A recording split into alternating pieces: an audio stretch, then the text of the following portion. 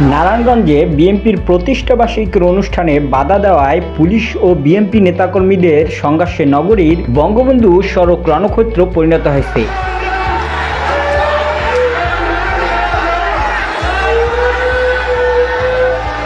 পরিস্থিতি নিয়ন্ত্রণে পুলিশ গুলি ছুড়ে, এতে গুলিবিদ্ধ হয়ে দুজন ছাত্রদল নেতা নিহত হয়েছেন। এছাড়া গুলিবিদ্ধ হয়েছেন মোহনা টিভির জেলা প্রতিনিধি আজমেরি ইসলাম সহ অনেকে।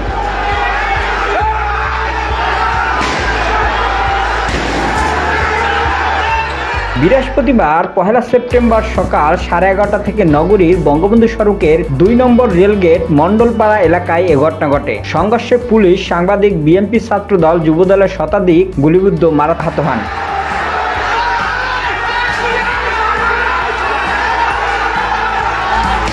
নিহতরা হলেন সরকারি তোলারাম কলেজের ছাত্রদলের যুগ্ম আহ্বায়ক ফারুক খান, সুজন ও ফতুল্লাহ এনায়তনগরের তিন নম্বর ওয়ার্ড ছাত্রদল নেতা শাওন। এদিকে পুলিশের এদিকে পুলিশের টিয়ার সেলে বিএনপি নেতাকর্মীদের পাশাপাশি স্থানীয় ম্যাগন স্কুলের ছাত্রীর অসুস্থ হয়ে পড়ে।